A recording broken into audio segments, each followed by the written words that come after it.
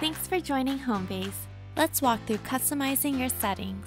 First, sign into your Homebase account at app.joinhomebase.com. Homebase can be completely customized to suit your company's workflow. From settings, you can turn features on and off, update permissions, and manage your account's billing info. Select settings on the top navigation bar. On the left, we have our menu. Under locations, you are able to edit basic info, POS connection, and plan and billing. Let's select basic info first. Under location details, Select the pencil icon to edit the business location info, such as name, physical address, phone number, time zone, business type, and website. Under Company Info, you'll see an overview of the company's information. Under Company Location, you'll see a list of your locations and Homebase. You also have the option to add an additional business location here.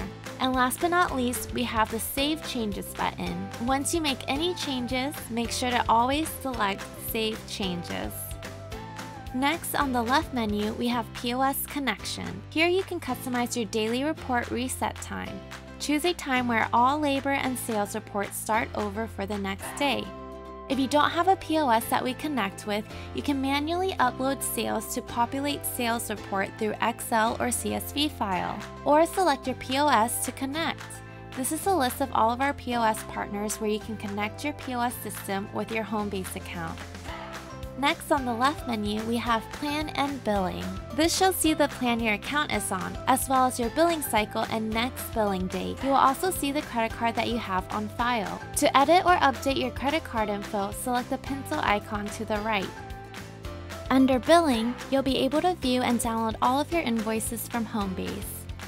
Now let's go to the next section on the left menu, which is time tracking. Here you can customize your time clock options, overtime, breaks, and compliance settings.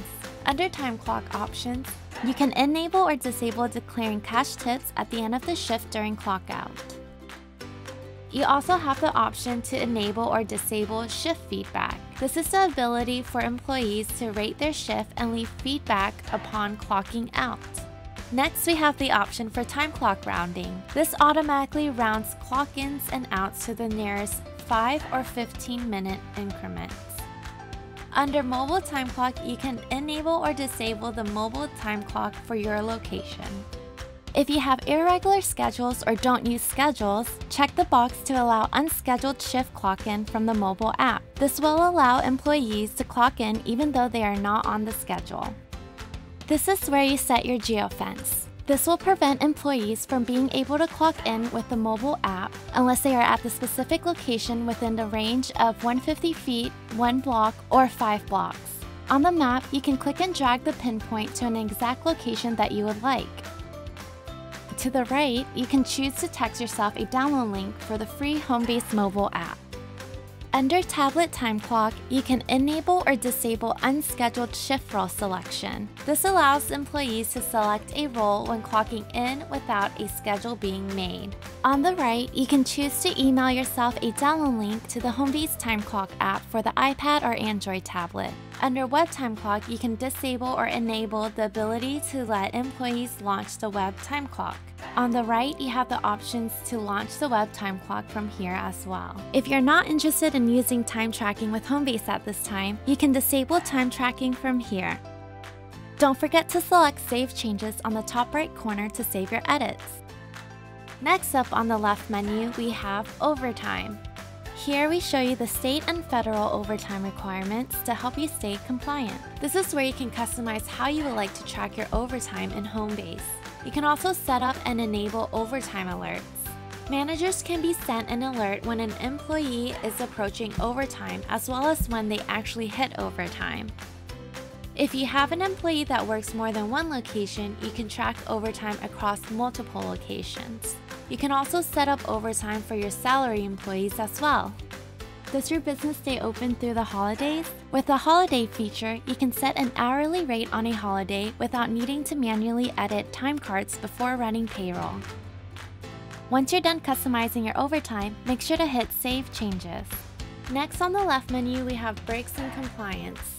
Staying compliant can be complicated. We've got the tools to help. Here you'll be able to see an overview of your state break laws as well as your federal break laws. Underneath, you'll be able to customize your breaks. This allows you to set up your ability for employees to clock out and in for breaks. Breaks can be set for either optional or mandatory. If the break is set to mandatory, the employee's time card will show a missed break error on the timesheets if a break is missed. If the break is optional, the employee's time card won't reflect if a break is missed.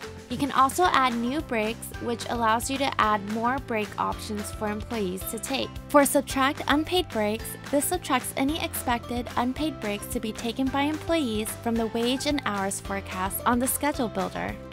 We also have the option to award additional hours. Employees who do not clock out for mandatory breaks will be awarded additional paid hours on their timesheets. For convert excess paid to unpaid breaks, any extra time taken outside of a paid break gets automatically converted to unpaid. This is great for controlling your labor costs. For example, if a 10 minute paid break is granted and an employee takes a 25 minute break, 15 minutes will be converted to unpaid.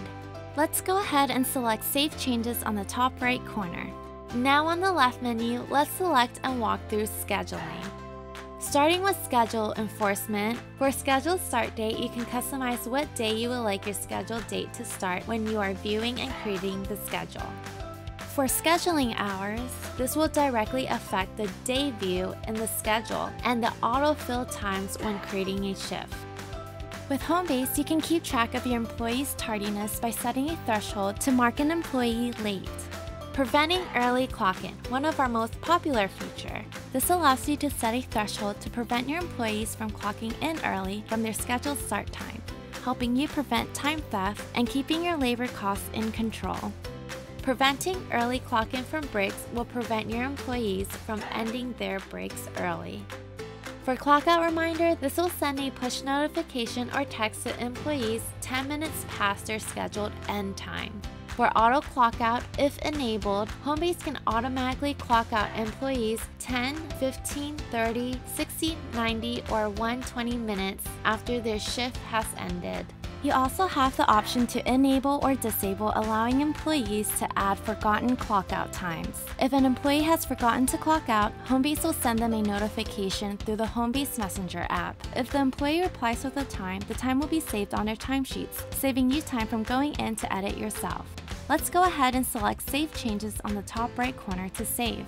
Now moving to Alerts and Permission on the left menu. Here we are able to customize late alerts. This is where you can set a threshold where managers will receive an alert when employees don't clock in after a certain time past their scheduled start time.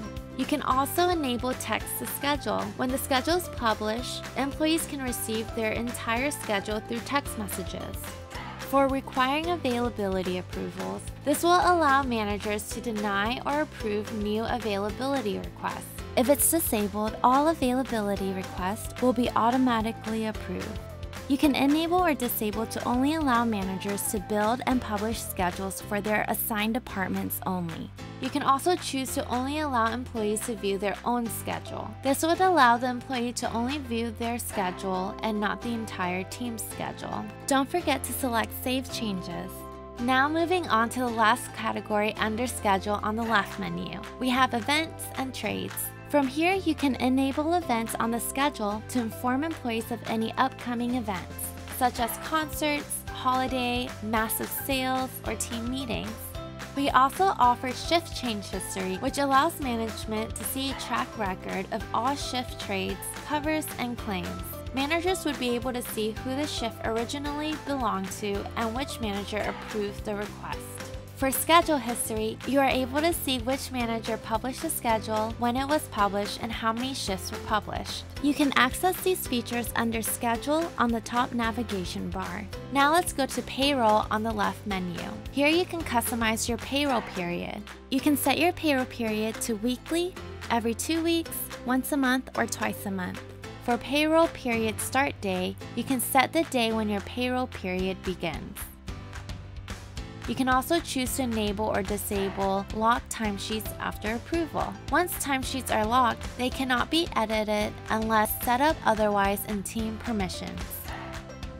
Underneath, we have our payroll partners, which is a list of our integrated payroll partners. This is where you'll be able to connect your payroll accounts with Homebase. Once done, select Save Changes on the top right corner. Next on the left menu, we have Time Off and PTO. This is where you can set your PTO policy and customize time off restrictions. Under Time Off policy, you can choose which time off categories will count towards PTO. Then you can create your PTO policy by selecting Create New Policy. Name the policy, select the accrual method, the hours or the rate, max balance, and max carryover. On the bottom of the page, you have the option to limit time off requests per day and also set the number of days in advance employees need to request off. Once you have that set, don't forget to select Save Changes on the top right corner. Now moving on to Team Messenger on the left menu. This is where you can enable or disable team shoutouts. Shoutouts allow you and your employees to send notes of appreciation and recognition to teammates who stood out or went the extra mile during a shift. You can also enable or disable Messenger. This will allow you to disable messaging for employees. You may also re-enable if you choose to do so. Here you will be able to download message logs. This is the ability to download all messages, including private messages, in the form of an Excel or CSV file employees will receive a notification that their messages have been downloaded to view. Now let's select Team Permissions on the left menu. With Homebase, you're able to keep track of multiple wage rates.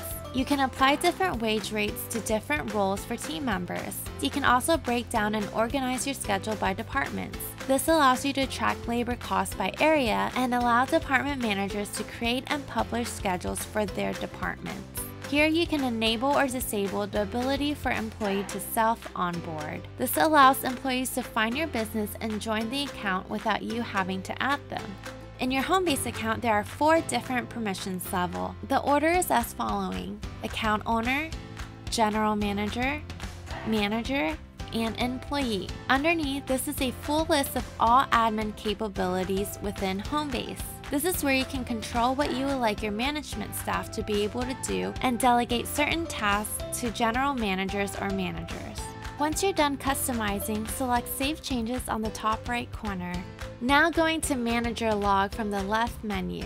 The Manager Log is a tool that managers can use to communicate with each other about any information during shifts. Here you are able to enable or disable the Manager Log for managers to view and store notes.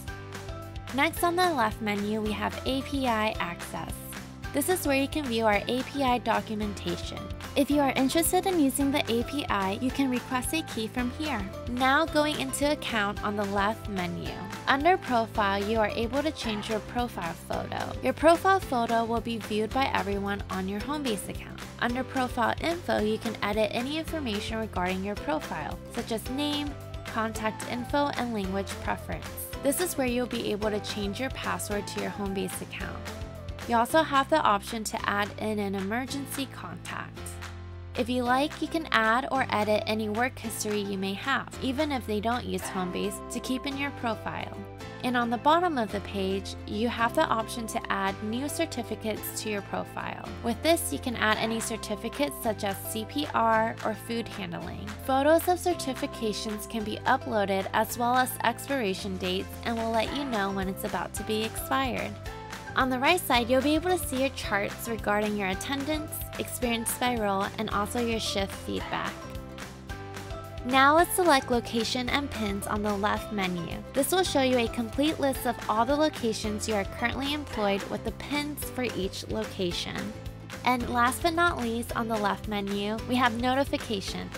If you have more than one location, you're able to select which locations you want notifications for.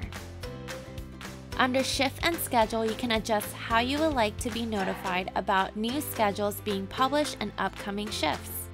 Under Manager Alerts, managers can adjust how they would like to receive certain alerts such as overtime, late, daily emails, and time off requests. Now that we went through everything in settings, make sure to take some time to customize how you would like your Homebase account to be set up. Still have questions? Visit support.joinhomebase.com.